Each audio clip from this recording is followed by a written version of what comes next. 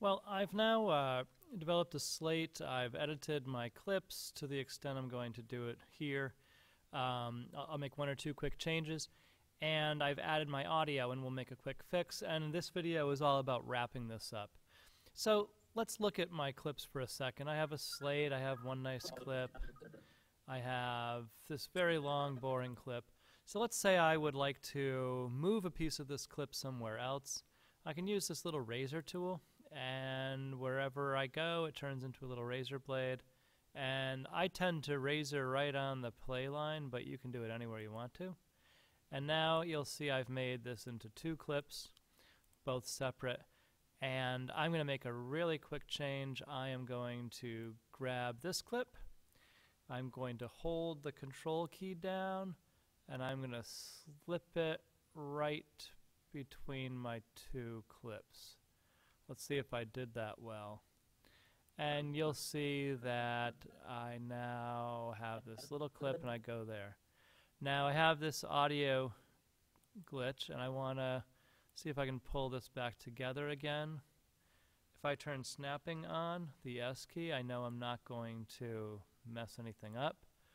And it should play perfectly. Let's just listen for a second. And it was very difficult. This was a very dark painting, so I found So there you go. I didn't miss a beat with this. Okay, I want to do one more thing, and that's I don't want my music to start off too loud. I would actually like to add a control point. Um, I'll add two. I'll add one here. And I'm going to add one more. And I'm just going to, whoops. We'll come up with a fix for these. I want to make these control points linear, not Bezier. So now my audio is going to start off a little gradual and reach my volume, and I'm good to go. So I need to make sure that everything comes together. My closing credits will add right there. I didn't put transitions in this one, but I think you folks can handle that. And my project's going to end right there. So I want to go ahead and render this and sequence. Actually, I'm going to save this because I always try to save before I render. Sequence, I'm going to render the entire work area, and this is zipping right along. I don't even need to pause this, but um, you don't. You sometimes will have to render while you're in the middle of work just because you've got so many effects on things. In this case, I didn't really need to do that. It's a tiny project. And here we go. We're just about at 85%.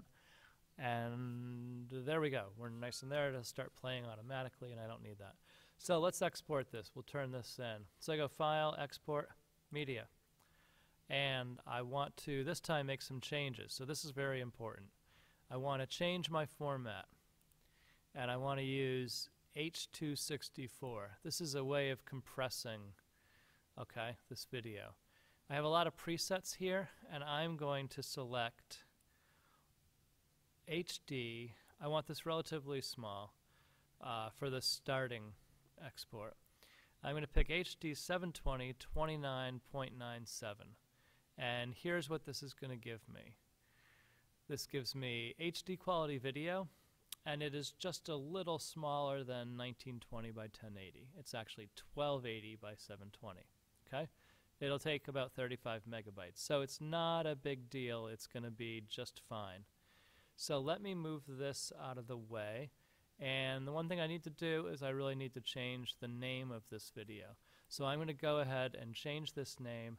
And I'm going to call this uh, painting, but you can call it whatever you want to.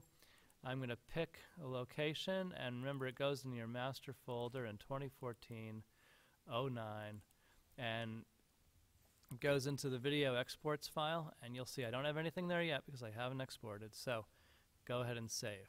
All right.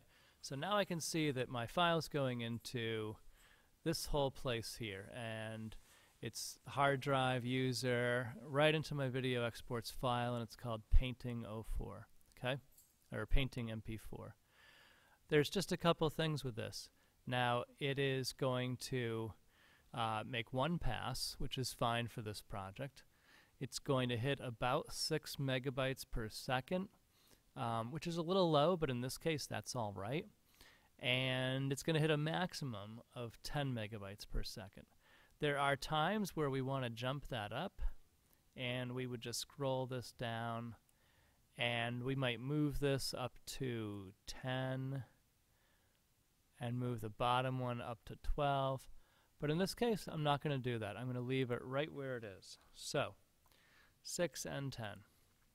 There are times also, if you're working on a project, especially a very final version, where you want to do two passes. But in this case, one pass is plenty fine. The more you do, the more you uh, finalize this, okay, um, the more, the higher uh, this file size becomes. This is pretty basic right now. So let's go ahead and we're going to export this. This will put it right in the queue, and you'll see rather shortly I have my finished project. Okay, so now my uh, uh, encoding is finished. Let's just check to see where it was. Here's my folder. 1409 art, video exports, and painting. And there's my project. Now I can just double check my properties if I would like to. I will see that this is 1280. It's 48 seconds long, 720. So the aspect ratio, it's 1280 by 720. It is a 6 by 9 project, 29 frames per second. I shot at 30, but this is an estimation. And that's about it. Um, so I hope that was helpful.